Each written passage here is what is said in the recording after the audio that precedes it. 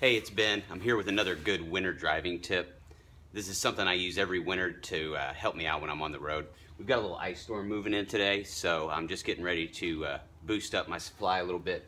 What you want to do is you want to go to the store and get yourself some of this Rain-X 2-in-1. It's the orange. This is windshield washer. And what it does for you is basically you get this film of ice like you see building up on my windshield here.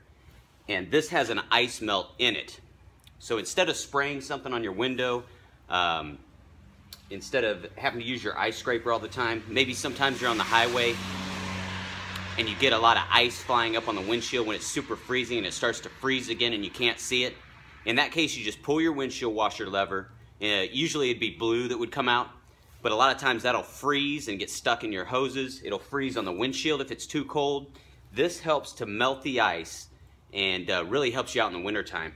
And now it won't work, um, you know, I'm, I'm in St. Louis and it works in our winters here. I think it, it's rated maybe down to, to negative 10 or negative 20, but uh, it will help out a lot. It's not gonna, it's not gonna help you if you got four inches of ice on your windshield.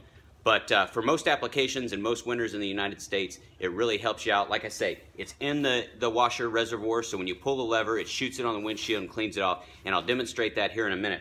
Also, this product uh, has the regular Rain-X, which is like a wax, and it sprays onto your windshield. You used to have to go in and wipe it on by hand, and you had to do it about every 30 days because your windshield wipers would wash it off.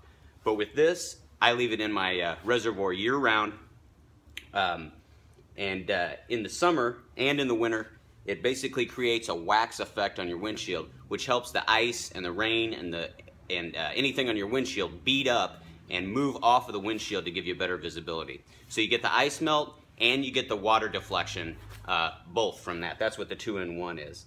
And uh, there are other brands that uh, do the same thing. I like the Rain-X the best. Um, it's easy to see because it's the orange and uh, just a great product. So check it out. We'll put some in here. Okay, so we're under the hood. You're going to want to find your windshield washer fluid reservoir and I don't know if maybe you can see it. It usually has this little windshield with the stuff spraying on it. You want to make sure you, you, put it in your windshield washer reservoir. A lot of times this cap will be blue, um, but you don't want to put it in your brake, uh, brake fluid or power steering or any of that.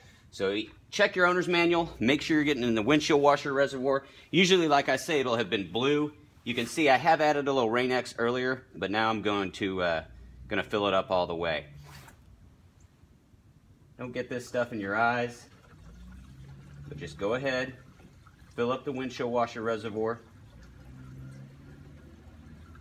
Like I said, this is going to help the uh, snow and ice and water beat up and get off of your windshield better.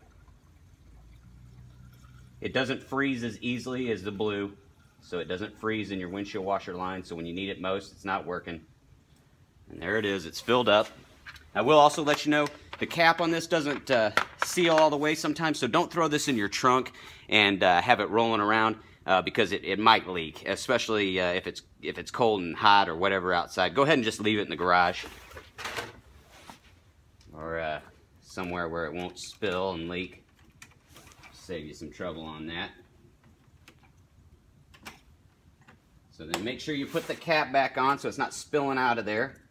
Make sure it seals up and we'll be ready to go.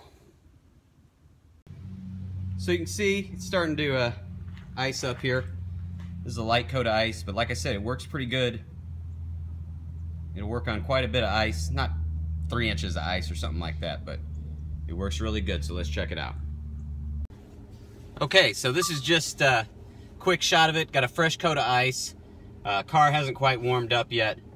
Uh, like I say, I just uh, put some Rain-X in there. I had a little bit of blue left mixed in with it, but uh, we'll go ahead and just give it a try. Now you can see the blue came out.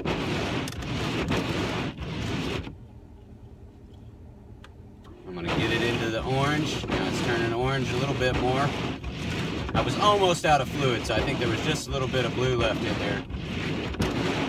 As you can see already that the uh, the ice is coming off.